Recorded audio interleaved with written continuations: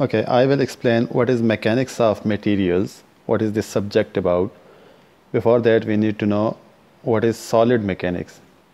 Uh, solid mechanics is actually the study of the response of or the behavior of solid bodies against loads.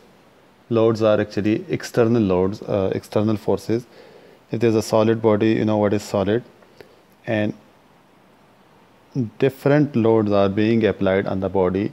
The loads can be mechanical forces, or it can be thermal loads, temperature, it can be a fluid interacting with the solid body.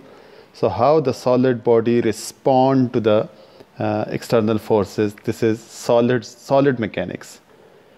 The response of solid bodies against external loads is solid, solid mechanics. Response can be of different types and we study it in different subjects in different branches of solid mechanics. So majorly solid mechanics can be divided into two branches mechanics of rigid bodies solids can be rigid mechanics of rigid bodies and the mechanics of deformable bodies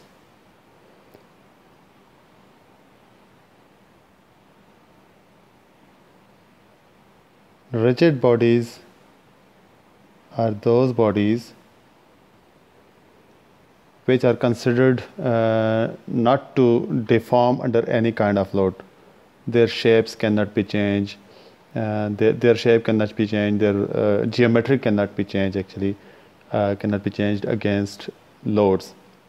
Deformable bodies, as apparent by their name, a deformable body can be deformed, its shape can be changed uh, after applying a load, after applying an external force.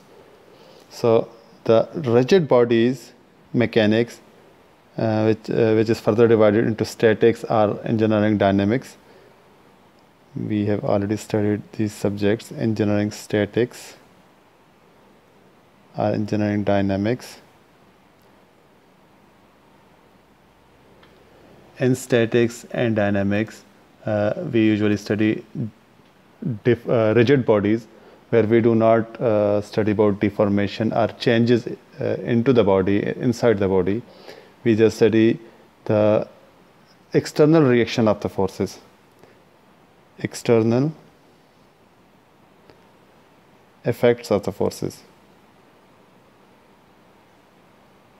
What are the external effects? For example, there is a tire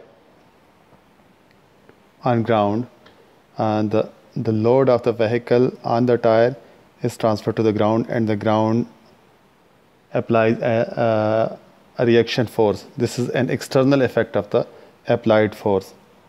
The tire or the vehicle is applying a load on the ground and the ground is applying an external force, and a, reaction force which is an external effect of the force. So this weight and the response is a reaction force. So force and its external effect. But uh, we, we, are not studying any kind of deformation or strains or stresses occurred into the tire. So this is mechanics of rigid bodies. If they consider acceleration equal to zero, so it is statics. And if the acceleration is not equal to zero and we are talking about the moment of different bodies under forces, then it is dynamics. Okay in mechanics of deformable bodies, we study the internal effect of effects of forces, internal effects of forces, internal effects of forces or loads. What are internal effects? They are deformation and stresses. The same tire under uh, its law, uh, the, the same tire uh, will deform or can be compressed against the ground due to the weight of the vehicle. So this compression or the deformation occurred in the tire is actually the internal effect of the force. Similarly, if there's any stress uh, occurred in the tire, it is internal effect due to the external load. Similarly, different machine components or mechanical components are in contact with each other. Due to the contact, there is a reaction force of each body on the other body. It is external effect. But due to that reaction force, there are internal effects. There are deformations, the change in shape, and internal stresses in the body. This is uh, a study of deformable bodies. And the study of deformable bodies or the mechanics of deformable bodies is actually mechanics of materials.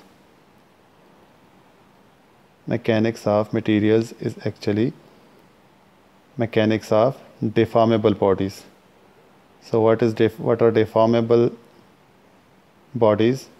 The bodies uh, responding, uh, the bodies uh, uh, experiencing deformation against external loads and the measurement of those deformations and stresses, internal effects of the body is actually uh, mechanics of deformable bodies or mechanics of material. So in this subject, we study about the internal effects, the deformations and the stresses, or you can say the strains and the stresses. These are the two most important concepts of mechanics of material, stress and strain. So throughout the subject, we study different types of stresses. If there are different types of loads, so there will be different types of stresses.